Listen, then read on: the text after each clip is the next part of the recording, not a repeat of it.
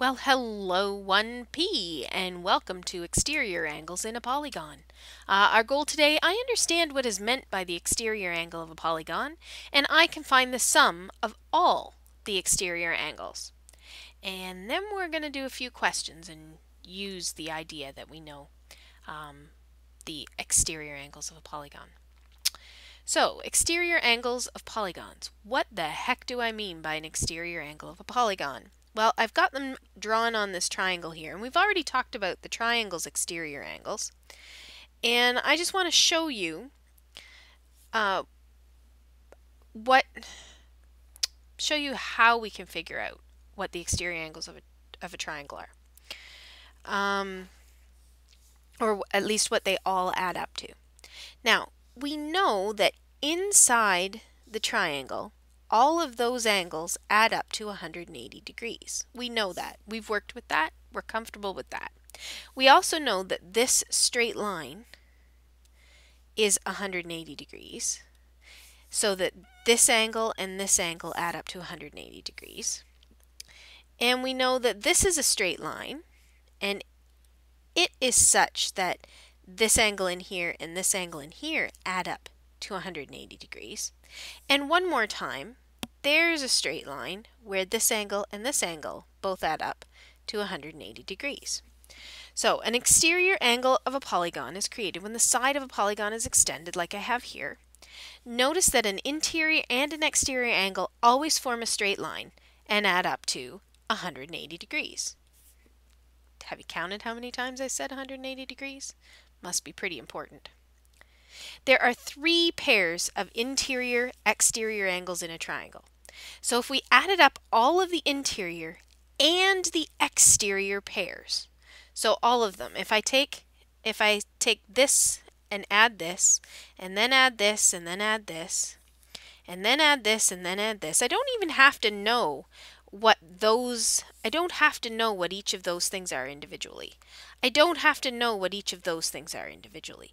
I don't have to know what each of those things are individually because I know since those add up to 180 degrees that all I really have to do is take 180 degrees and add it three times.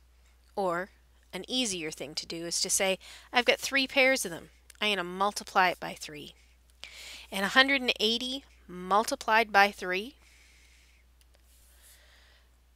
gives us 540 degrees.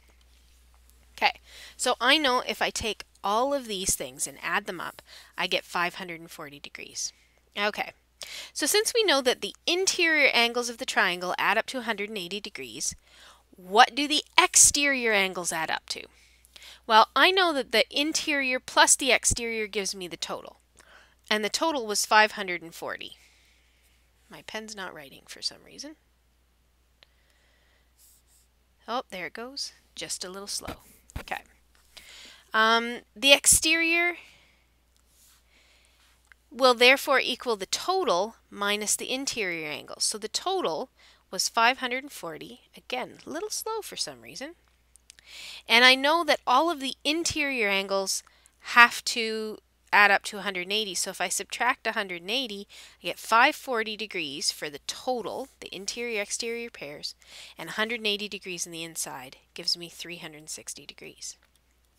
So for a triangle, all of these outside angles, um, let's actually just take away these things.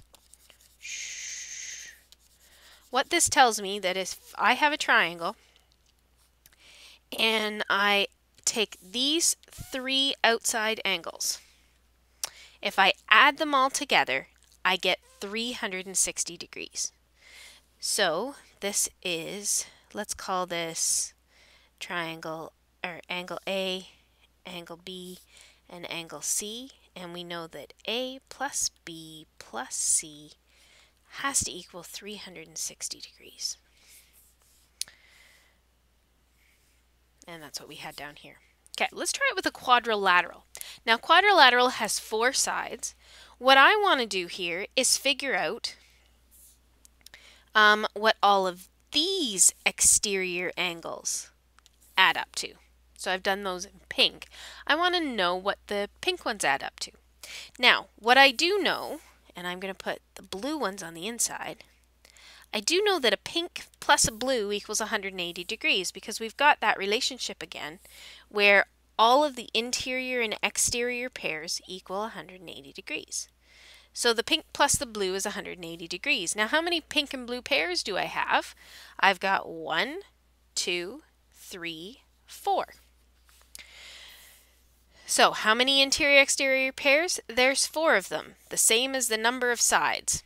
Okay, total of all interior and exterior pairs, well, we know that each one is 180 degrees, so I have to do 4 times 180 degrees.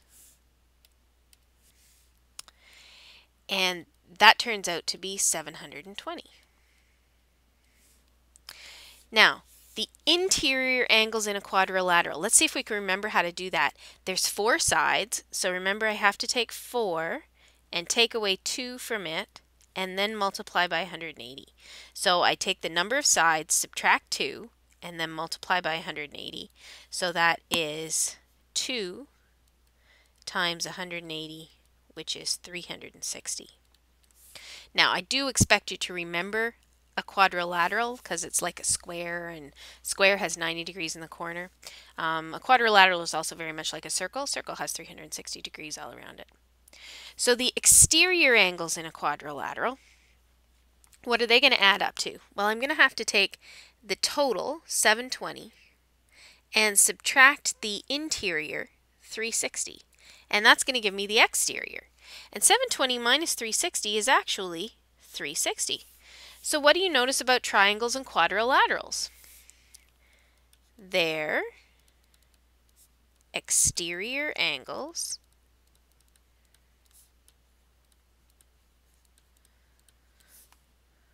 both add to 360 degrees.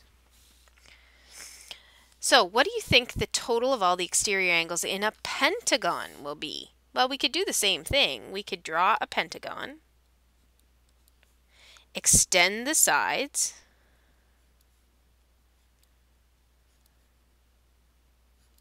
just like that, and then we'd have to figure out what's here and here and here and here and here, what those all add up to. And we could do it exactly the same way as we had here. But what would your gut instinct tell you? I actually think that if triangles are 360 and quadrilaterals are 360, then probably a pentagon will be 362. So I think a pentagon will also have exterior angles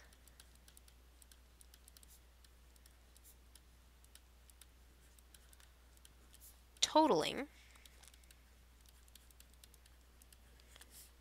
360 degrees.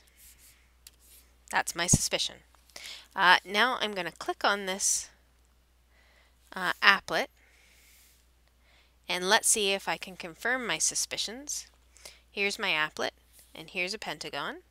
And now this is, oops, this is like the one that I was showing you before for the interior angles, except this one has exterior angles. Let's make this a regular pentagon first. Notice that they're all exactly the same. The exterior ones are all exactly the same. Um, and they total 360 degrees and it doesn't matter how big or how small, they total 360. Or if I don't make this a regular one, I make it weird, and I move these around, and I turn them into strange looking pentagons, it does not matter what I do to this thing. Those angles are always still adding up to 360 degrees. Uh, let's keep going. There's six sides. A hexagon. Again, exterior angles total 360 degrees. Seven sides. A septagon. All those angles still total 360 degrees. So, my suspicions have been confirmed. The exterior angles in any polygon will add up to 360 degrees. Now we're going to do a few examples of, well, some of these you might be able to use and some of them maybe not. You may may not be able to use uh, the fact that the exterior angles add up to 360, but we're going to take a look at these things. Find D. Well, I need to know what this is. Now, since I don't have any other exterior angles, it would be nice to know what this is. Now, here's something. This is called a kite. I've got two sides that are the same here and two sides that are the same here. When that happens, this angle and this angle are exactly the same. So I know that this angle in here is 136 degrees. So I know how to find this one in here. Let's actually give it a name. Let's call it x. And so we can figure out x because everything in here has to add to 360. So I'm going to do 360 subtract 2 times 136 uh, subtract 32. And that's the way I'm going to type it into the calculator too. I'm going to take 360, subtract 2 times 136, subtract 32. And so angle X is 56 degrees. And I'm going to give a reason for that here. I'm going to say interior angles. because that's how we found it. We used all the interior angles. And now I happen to know that these two things together have to add up to 180 degrees. So I know that x plus d has to equal 180. So d is going to equal 180 minus my x, which I found is 56. Let's try to do this in our heads. 180 minus 50 would be 130, and then I have to minus 6 on top of that, so that's 124 degrees. And here, the reason for that is because this is a straight line, or a straight angle. Straight angle. Okay, find x, y, and z. What can we find out about this? Well, I know that these two things have to add up to 180 degrees. So I say z equals 180 minus 38. 180 minus 30 is 150, and then I have to minus 8, so that's 142. And that is because that is a straight angle.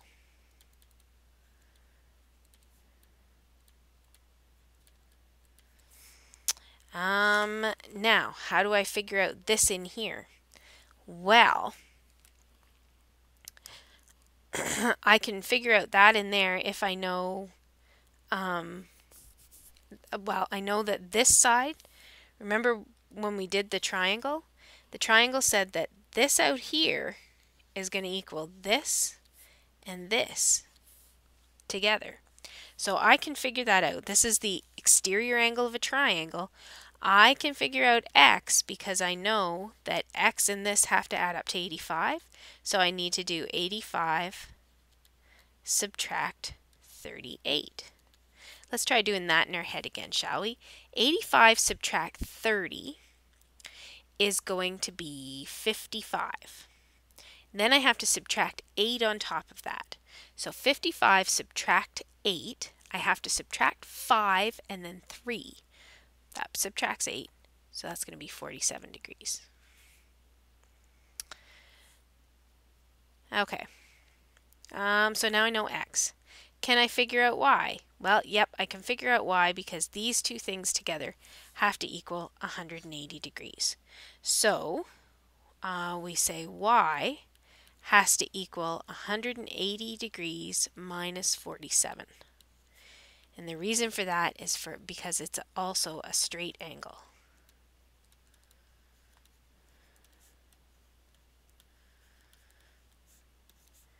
The reason for this is because of the exterior angle theorem for the triangle. We call it EAT.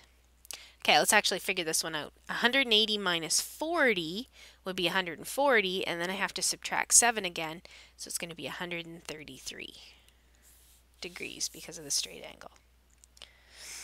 Okay, find x if the pictures shown below are regular polygons. Okay, they're regular, so all of these x's are going to be exactly the same. Now, I know that the whole thing has to be 360.